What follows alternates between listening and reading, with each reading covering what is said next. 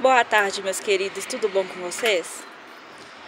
Estou passando aqui para responder uma perguntinha que me fizeram no vídeo de, de, reprodução de cacto, tá? Se você não viu, olha aí na playlist que tem um videozinho de, sobre reprodução de cacto. Uma mocinha me perguntou sobre a diferença entre rabo de macaco e rabo de gato.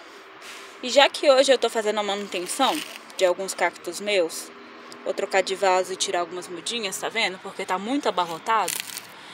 Aí eu vou doar algumas mudas e fazer algumas mudas, é, colocar em um, em um vasinho separado, tá bom? Vou aproveitar para falar qual é a diferença entre rabo de macaco e o rabo de gato. O rabo de macaco, que é esse daqui, esse aqui, ó. Esse aqui é uma mudinha que eu tirei ela e já já, já falo pra vocês o que aconteceu. Esse aqui é o rabo de macaco. O rabo de macaco, ele tem as cerdas dele, que são os espinhos, muito macias, tá bom? São, é, são maleáveis e são macias, tá vendo? Você consegue passar a mão. E geralmente elas vêm na cor branca, tá?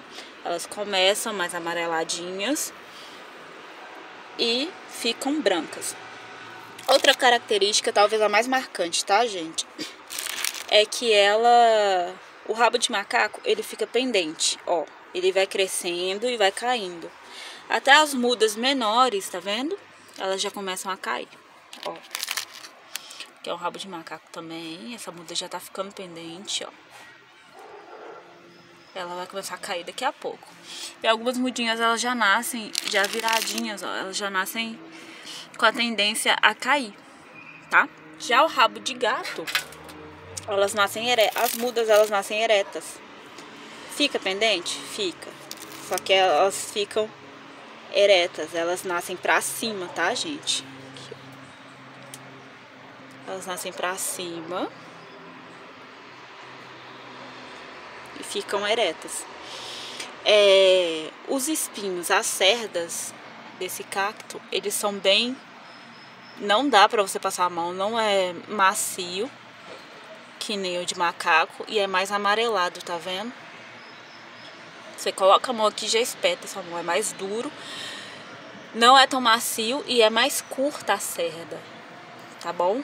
Mais amareladinha. Aqui, ó. Espeta mesmo.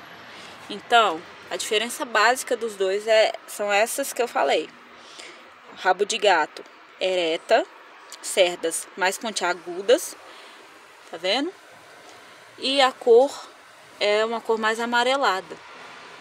Diferente da rabo de macaco, do rabo de macaco, que as cerdas são mais macias, são maleáveis e a tendência é cair, elas são pendentes, tá bom? As mudinhas já nascem pendentes, tá? Essa é a diferença entre os dois. E essa mudinha aqui é aquela mudinha é, que quebrou do meu rabo de gato ela quebrou ao meio e ela deu raiz. Agora que eu vi, eu plantei ela aqui, ela deu raiz.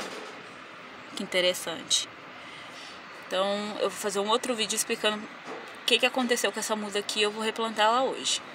Mas espero que vocês tenham conseguido entender qual a diferença entre rabo de macaco e rabo de gato, tá bom? Uma ereta e outra pendente. Essa é a mais marcante deles, tá bom? E se você gostou, se te ajudou, deixa eu curtir se você não é inscrito no canal, já se inscreve no canal, por favor. E fica com Deus. E até a próxima. Até os próximos vídeos.